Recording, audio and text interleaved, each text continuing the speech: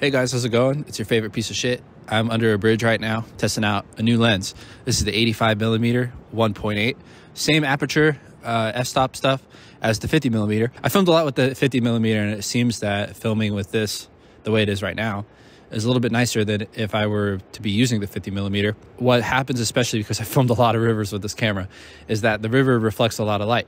Uh, but there's not a whole lot of light reflecting on my face because I'm near the ground. The ground absorbs the light. What happens is that you either have a dark face and a light river, or a way too bright river and a somewhat lit up face. I want to believe that if I was here shooting with the 50 millimeter, something about I don't know if it's because of the lens. If you actually look at the lens size of the 85 millimeter, it's like bigger.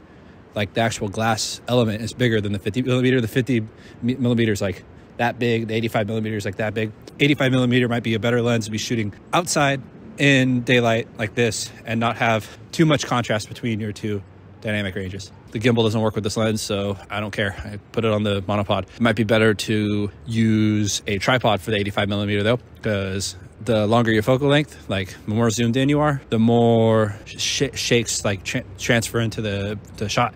So even if we're wiggling it just a little bit, it's gonna be moving around a lot more than what a 50 millimeter would show. And I'm sure my wife is all thinking, oh, I'm moving around too much. Uh oh, I'm in trouble. but she's probably fine. Uh, it doesn't really matter anyway. I'm gonna get some other shots. I'm gonna shut up now and I'm gonna let the camera do the talking. All right, see ya. Bye.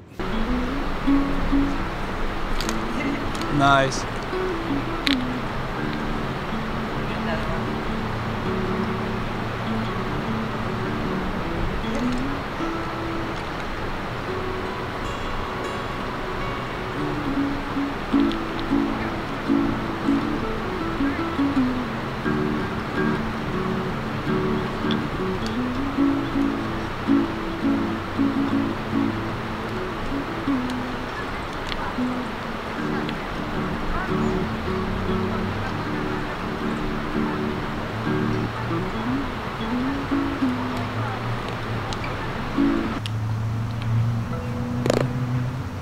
11 hits the ground.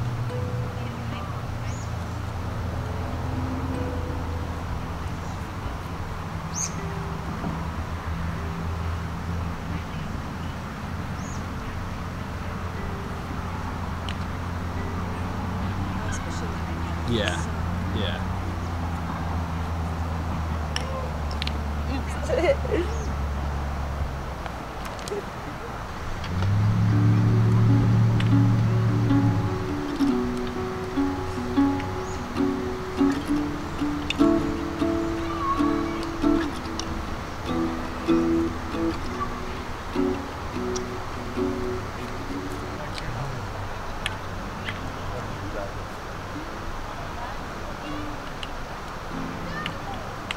Better better. It makes it look like you have a string that you're pulling it on, but there's no string. yeah.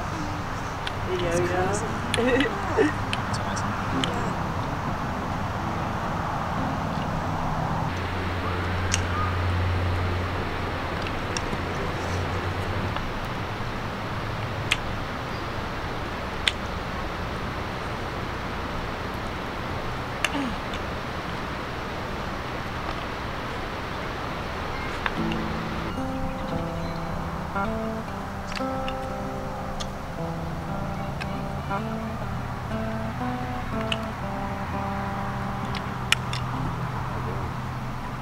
Like a baby learning to walk. It takes time, practice, baby steps. Yeah. You know, at first the baby can't even move its own neck.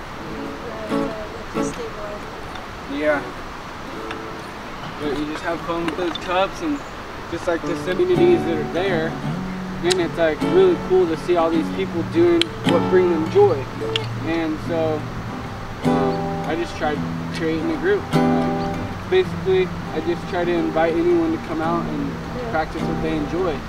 So these guys, guitar, invitation for anyone really to come out, even people who aren't into any of this stuff.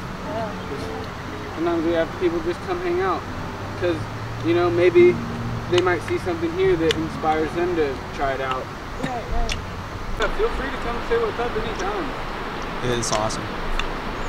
Yeah, this month there's this challenge where they challenge you to learn a new trick every day.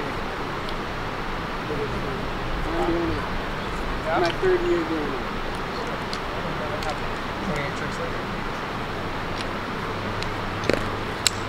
Oh, that was fucking high. That's a, that's a, uh, that's a whirlwind